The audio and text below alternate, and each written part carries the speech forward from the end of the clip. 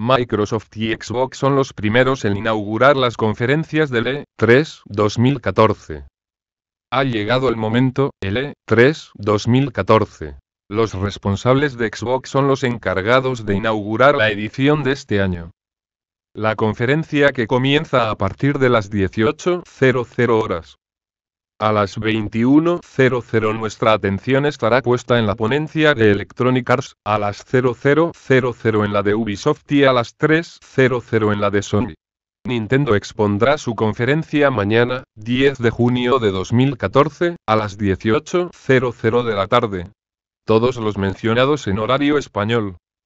Recordad que podéis echar también un vistazo a los 25 juegos, tanto de presente como de nueva generación, a los que seguir bien de cerca durante el E3 2014.